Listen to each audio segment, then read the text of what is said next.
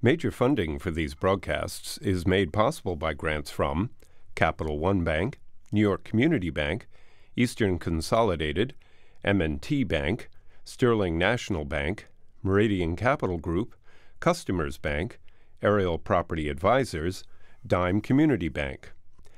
Additional funding is made possible by grants from AmTrust Title, AVR Realty Company, Avison Young, Bank of America Merrill Lynch, Bank Leumi USA, Briarwood Organization, CBRE, Chase Commercial Term Lending, Chase Commercial Mortgage, Citizens Bank, CPEX Real Estate Services, Colliers International NYC, Cohen Equities, Collins Building Services, Douglaston Development, Levine Builders, Flushing Bank, Friedman LLP, Handler Real Estate Organization, Handro Properties, Hodges Ward Elliott Inc., Investors Bank, James D. Kuhn Real Estate Institute at Syracuse University, Kilroy Architectural Windows, Madison Realty Capital, Matone Group, Mercantile Bank, New Banks, Newmark Knight Frank, Optimum Window Manufacturing Corp.,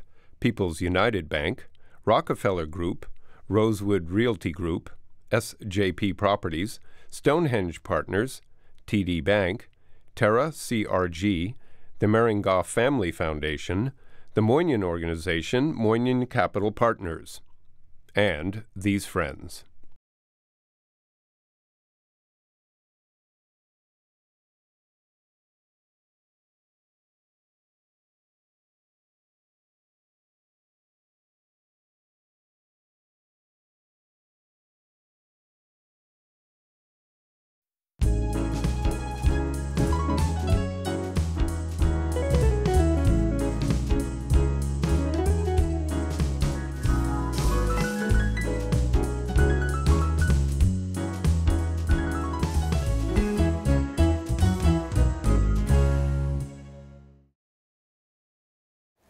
Grew up in Long Island.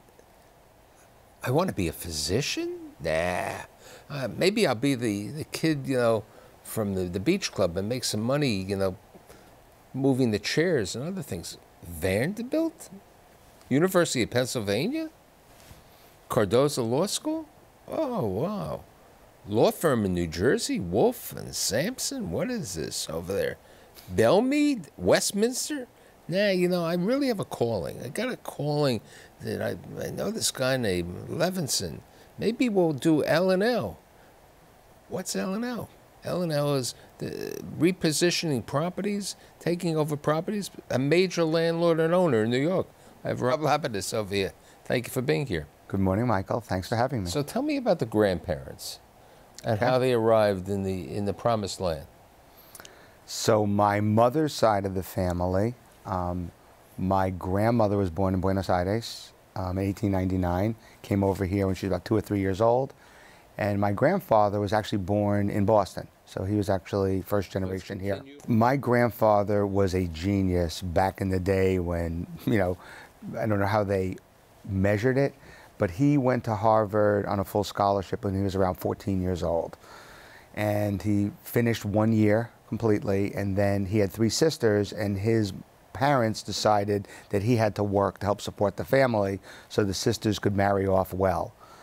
Um, long story short is he never finished college, although Harvard did invite him back for the 50th reunion, which he was very proud about.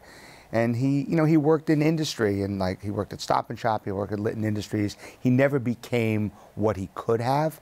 And his sisters, who were all supposed to marry off well, um, you know, one of them was married three or four times.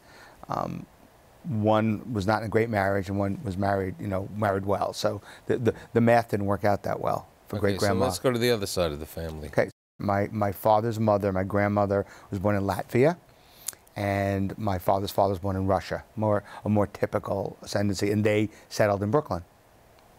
And tell me about them. So my grandfather was in the clothing business, and my grandmother was a very avant-garde woman. She was way ahead of her time. She was a great businesswoman. She actually taught me how to play poker, and she taught me how to invest my bar mitzvah money. And she was in the optical supply business, and back in the day When my grandfather was making $60 a week, she was making $600 a week. And she invested her money, you know, post depression in stocks, did very well. And then in the optical supply business, her business was failing. And her advisors all told her that she should file for bankruptcy. Back then, you didn't do that. Her word is her bond, her name. So she put all her money back into the business and it ended up failing again. So she was fairly wealthy at a certain point in her life and then, you know, pretty much lost it. So tell me about your dad. My dad He was born here. He was born in Brooklyn. Um, the, the definition of mensch was my father. Um, the nicest, kindest, gentlest human being you ever met. No one disliked Victor Lapidus. Um, really great guy and really a model for how I act today and a model for you know a lot of a lot of good things in my life. So he he was you know World War II veteran. Um, You said to me, wasn't he involved with the Arizona project, uh, um, Alabama? the uh, the, bomb. atomic bomb. The right, atomic right. bomb. So what happened was my dad was in his platoon, and he, he, he got sick, and his his his his group got shipped out, and most of them got killed. He became part of this sort of ragtag group of misfits who they just threw together. And supposedly, my dad said, "You're never supposed to volunteer in the army." But they asked, "Can anyone type well?" My father volunteered. He was stationed in Alabama, and he was typing things. And what he was typing, like coded messages, took priority over things coming from Washington D.C. Like didn't really understand why, because they didn't tell him. It was sort of a need-to-know basis. And he found out subsequently that he was involved in sending messaging, you know, for the for the atomic bomb project. So so thank goodness he didn't wasn't deployed because I wouldn't be here. You'd be talking to no one today. You'd have no guests. Uh, and so anyway, my dad went to um, Brooklyn College, Columbia Optometry School, became an optometrist, and you know practiced you know most of his life. Worked six days we'll, a week. We'll get to that. And the, tell me about mom. My mother, She was the Bostonian. correct. So my grandfather, who was the genius from Harvard, his two daughters, my mother and my aunt, were also very, very good students. Both, both graduated top of their class and both went to college to UMass.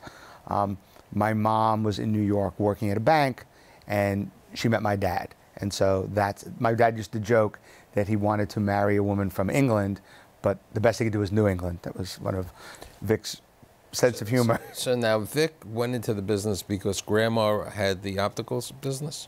th- it was funny. My grandmother, the, the smart businesswoman, told my dad to go into the pantyhose business. Said that women wear them all the time, they rip all the time, they replace over and over. He didn't. He wanted to be a professional. And I guess because of the sense, you know, understanding about the optical business to a degree, that's the direction he went as opposed to, you know, medicine, podiatry, dentistry, whatever. So when did your parents move out to uh, Long Island? They got married in 57 and moved shortly thereafter. I was born in 61, so they had the house. that I was Okay, so tell me, growing up in, in Long Island, what, what was it like in 61, 65? I mean, when you were a kid? I mean, probably the 70s is more in When the you memory. remember? Right, Okay. when I remember. I mean, you have a few memories of the 60s. Um, it was an idyllic setting. You know, it was exactly the post World War II generation. Leave it to Beaver? Yeah, I would, would not ex- not exactly you know Ward and Wally, but um, it was a, it was a simple existence. You Um, said your dad worked six days a week. He did. We had dinner late all the time because you know my, we'd wait for my father to come home, and my friends would very often be over, and we'd have like a second dinner, you know, with them. Now, did you uh, work in the optical business with dad? I did not. Um, the only thing I did when I went to college, my freshman year, I actually sold glasses. I went around door to door to make some extra money um, through you know through a relationship, one of my father's like suppliers. Um, that was the only. I, I never wanted to do it. Well, it didn't really interest me, but that was the only connectivity, other than getting you know free sunglasses, contacts. so where'd up. you go to public school?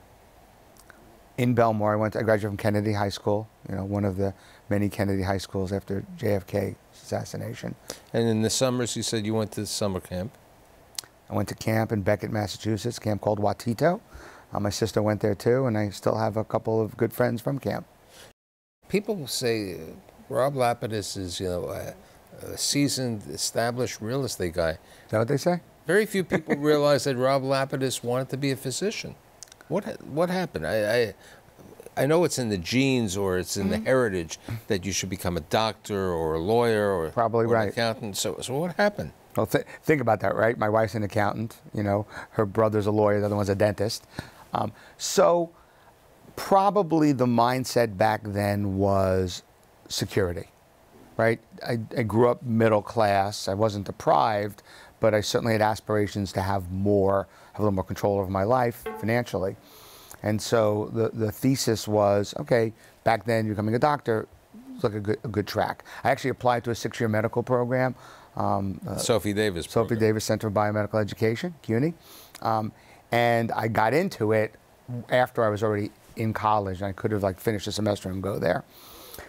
But how did you decide Vanderbilt? I mean, So it was interesting. My dad, who lived in Alabama for a while when he was, you know, younger, um, we had discussed that, you know, maybe going outside of the New York metropolitan area with the same demographic, going somewhere else would be a, an expanding type of experience. Number one. Number two is considering going into medicine. Vanderbilt had one of the finest medical schools back there. So my mom and I and my best friend and his mom, we traveled the South and we looked at, know, we, we went to, we did, you know, Emory and Duke and Vanderbilt and Rice and Tulane and all, basically the whole Southern contingency. And I got into all of those schools, just had the best time at Vanderbilt and just thought it was, it felt so right. You, go to Vanderbilt, and uh, what happens? Is it uh, meeting the girlfriend that uh, changed your mind? That you wanted to leave Vanderbilt? You wanted to leave medicine? It was probably a combination of things. I, I never felt that going into medicine was the passion I had. It just felt like a safe zone. So I, th- I think studying for a while, I was majoring in molecular biology back then. Um, it was fine, but not great. The summer after my freshman year, I met my wife, and a combination of things. I, I decided I didn't want to go that track anymore. I also we got engaged not too long after we met, believe it or not, and we wanted to be closer together. Penn was a school I'd gotten into originally, but I applied to transfer there. You, you met her where? At the Beach Club? Beach Club, July 13th, 1980. July 13th, 1980. So this 19-year-old kid meets his pre future wife. And what were you doing? Uh, setting up chairs? I was- or I- taking- or taking care of the card games? No, I well, I was a cabana boy. I did everything. So a couple of things. But I was the, the money really was made not in the cabanas. The money was made on the tips. Okay, It was all about all, all about tips. tips. All about tips. So I was making six hundred dollars a week in cash in 1980. I was loaded. I lived at home. I, I had no expenses. So I met my wife, my future wife. I came home, told my dad I'm at the go. I'm going to marry today. So um, obviously there was a connection there, and you know my wife jokes that we're on a month to month now. Um, but we're married 34 years. Obviously, it was a great moment in my life. And But you hustled to, to make the money for the engagement ring, you told me. well, I hustled to make money, period, and I made a lot of money. And what ended up happening is decided to get engaged, and all of that money went towards buying the engagement. I also was a coin collector. I had to sell a couple of my coins to top it out um, to pay for the ring. You were one year in. You, con- you continue for another year uh, at Vanderbilt, Correct? and then you decide to go to Penn. Correct. When did you decide to leave the, the medical world and decide that you wanted to be a lawyer? Sometime during that period of time when I was No epiphany. transferring. No, it was it wasn't an epiphany to be a lawyer for sure. It was epiphany not to be a doctor. And then, you know, sort of like, what am I going to do? I minored in business. I took some core curricula at Wharton. Didn't really make sense to me to go get an MBA. So I figured, you know, nice Jewish boy, I'll go, I'll go get a law degree. And back then, if you asked me what I would do with my law degree, I would tell you that I was probably going to be an agent manager for musicians or athletes. Or So both. when did you get involved with the love of the Grateful Dead? Um, in the ninth, in high school, in high school, um, a friend of mine in high school turned me on to the Dead. I started seeing them in the late '70s. I'm 500 shows or so in, and what's amazing now, Tom Circle of Life, I, I know the guys in the band. I've done charity work with them. Um, a matter of fact, I saw, I saw an off-Broadway Dead show last night. That the keyboard player for the Dead is a friend of mine, Jeff produced. So it's just it's music has always been a big part of my life. I, my first musical love was the Beatles, then Billy Joel, nice Long Island boy, and then you know the Dead. And so I still love all different types of music, but clearly the Grateful Dead is my number one choice. What you do with the summers at Penn? One year, I worked at a law firm.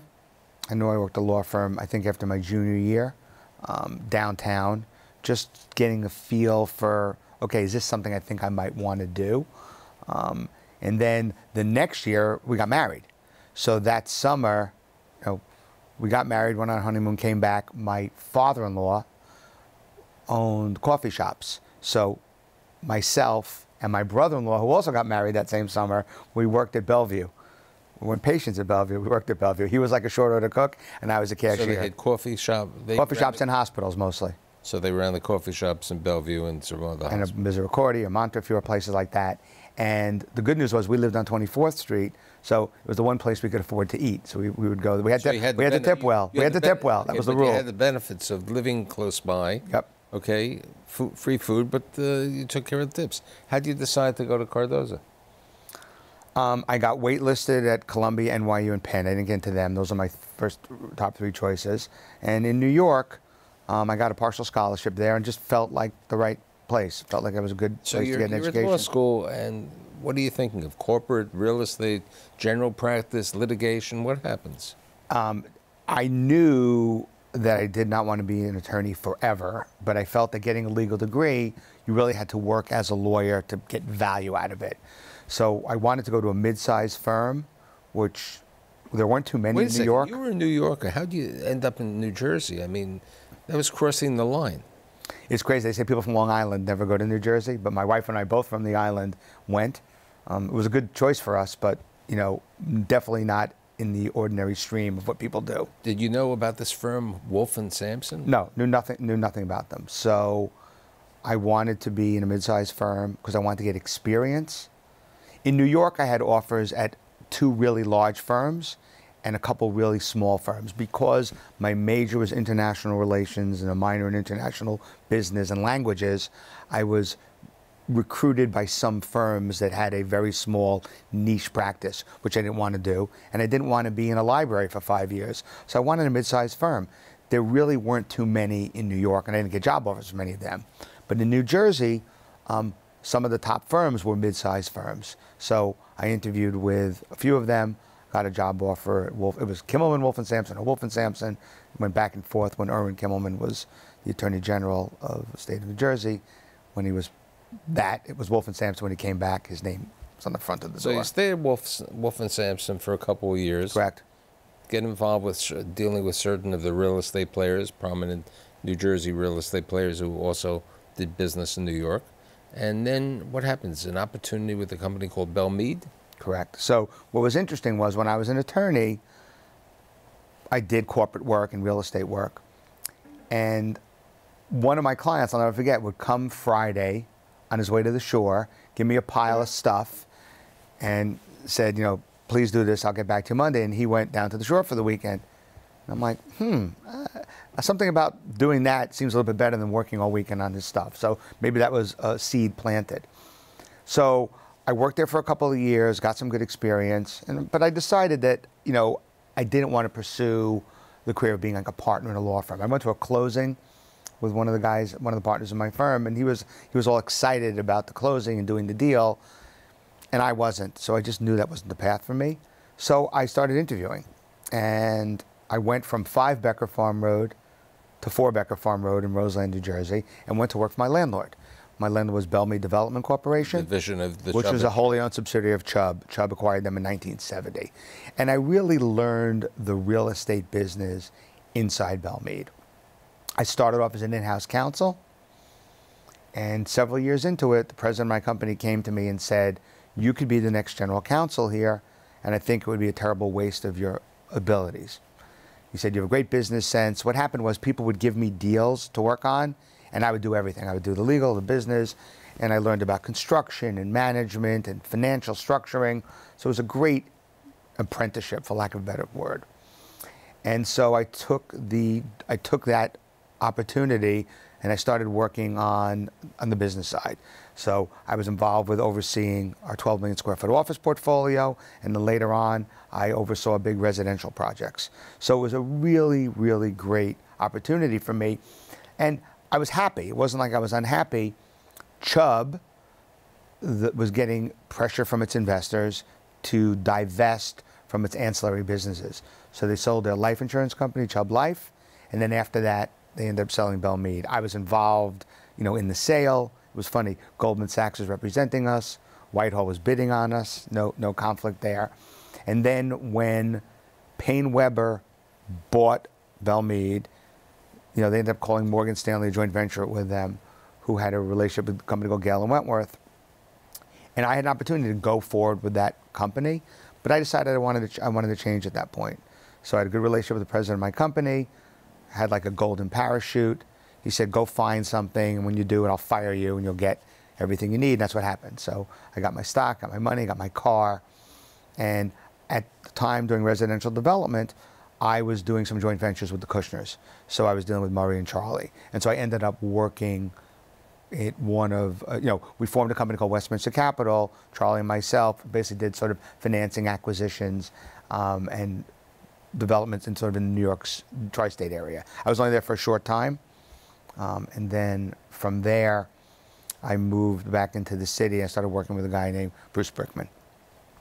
And while I was there for a couple of years, that's when I met David. So David, So how do you meet David? he brought a deal Also, to a us. guy who was an interesting background. Very interesting background, correct. Another Long Island boy. Um, so, But family from the toy business. yes, exactly correct. So, David brought a deal to us At. Bruce Brickman's shop. at Brickman Shop, and that's, that's where I met him.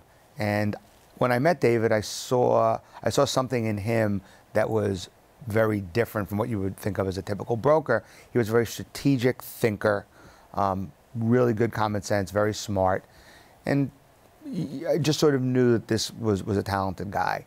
So after a few years at Brickman, it, it was an, it was okay, but it was really time to sort of move on. I decided what was going to be next, and David and I spent some time together. We didn't know each other that now, well. Mitch, uh, what, what was Mitch Rudin's role? Mitch Rudin introduced me to Bruce. So Mitch's uncle Sam Ketive was my closest friend at Bellemead. May he rest in peace. Sam was one of the greatest guys in the world, a real mentor to me. Um, we kept each other sane around all the insanity. And his nep- Mitch's, Mitch, Mitch Rudin and Robert Rudin were his nephews. And, and when I was going around to figure out what I wanted to do next, Mitch was one who suggested, you know, Bruce said, you got to come back into New York. But the irony is that Mitch was also involved with CBRE, where uh, at that time in Insignia, Correct. Uh, yes, where David was. correct. Okay, so you and David get involved when? What was the first year? June of 2000. Okay, it's June of 2000, and I think it was the Carlyle Group or something. Correct. Okay. Gabe Fink was the principal at Carlyle, who's my relationship, and he's the gentleman we did our first few deals with. Okay, and that was a deal on West 39th Street, if I remember. So what happened was, it was really interesting. I had said to David, it's probably going to take us six to 12 months to get our first deal when we come together. Um, my background and David's background were very different. I had relationships, sort of institutional relationships, Now, the capital for side. the L&L, is it Lapidus first or is it Levinson? It- Or, well, we don't want to say. No, no, no. It, it, the answer is it depends, like most things, right? Today here, I, I'll be first. You know, it really, it really just depends. It's, it's, it's an ongoing joke we have. But Da- Da- David and I, we thought it would take some time to get the business started. We had different skill sets, very complementary, but very similar core values. So I got a call from Gabe Fink saying they're looking at buying a deal in the city. They need an operating partner. It was the quickest yes I ever gave because it was going to put us in business with a real credible firm. And so then we started, and, and you know we were working on that. And a couple weeks thereafter, a friend of mine, Andy Geringer, called me about a deal that was a, a broken deal at 155th Avenue. And so we had our second deal. And, and so you know, right away, so between June when we started the business and December, we actually acquired three deals 250 West 39th Street, which we renamed the 39th Street Fashion Center, 155th Avenue, and Metropolitan Tower. So 150 Metropolitan Tower we still own. and 150 is going through a, another big renovation. We're adding some space to it, and the anchor tenant lease is ending now, and we have a lease out with another tenant for the whole building. So how did you get involved with uh, the toy building? So it was being, um, Tony Malkin had owned it, sold it to Joe Chetrit, and Joe was emptying it out to do a residential conversion. Um, for whatever reason, after the building was almost empty, decided to sell it. Um, so I was dealing with you know Doug Harmon and Joe Chetrit when Doug was at Eastdil um, to buy to buy this building. This is before the uh, Midtown South was chic. It was very much a pioneering move, right? We owned 150, we understood the market a little bit, and again, David had a really great vision about what to how to transform a building and what type of tenants would come there. So our view was this was a great opportunity for an office conversion. And so negotiating with Joe Chetrit was obviously an entertaining experience. We got it done. Lehman Brothers was our partner um, in buying it. And we basically, we transformed that building. We transformed that side of the park. We changed the floor plate in the building. And we were able to bring tenants from Midtown to Midtown South who wanted to change their culture. How'd you get. Eataly to come in? Um, Eataly had not existed in America yet. Right, they, they were in Turin, Italy, and Nagano, Japan. We had an idea that we wanted to curate that space. B- before that, it was Cipriani. So it was basically an event space that wasn't activated during the day, only in the evening. We wanted something that was, being, that was going to be an amenity for the building and amenity for the, for the neighborhood. So we had a vision for some sort of restaurant experience, maybe a few different types of restaurants. That was the idea. When Eataly came to us, they had already curated the idea we were thinking about, and they were going to sign a lease and basically, you know, have all these independent groups within that under that one umbrella. So we thought it was great. They did much better than they had anticipated. I think they had to hire an additional 125 people in their first few months of, of operation, and it's it's it's great. Obviously, it's been a very big success for us and them and the building and the community. They've expanded beyond this, and it, it, really, if you think about where you know retail's going today, everything's about experiences. So Eataly is an experience, right? You can come in there, they do tours, Cooking programs. cooking classes, you know, they have pizza, they have a rooftop bar. So it's a, it's a real great place to be. With like a minute left, tell me about family. So you met uh, your wife at uh, at the beach club. You've been married Yep. what 34 years? 34 years. Tell me about the children. So I have two children. My daughter Alexandra, Alex, is 26. She works in debt equity and structured finance at Cushman & Wakefield. Um, she's engaged to be married to a really nice guy named Evan. We're getting married next year. My son Brian is 23, graduated from the University of Michigan a little over a year ago. He works in uh, project management in our construction subsidiary. Um, he has a serious girlfriend, Rachel, and they're great, great kids. And how did you and David get involved with the Yankees quickly? David's been a longtime Yankee fan. David would walk around the social circuit saying if there's ever an opportunity to invest in the Yankees, we're interested. And one day we got a call from one of our lawyers, and the opportunity presented itself. And here we are.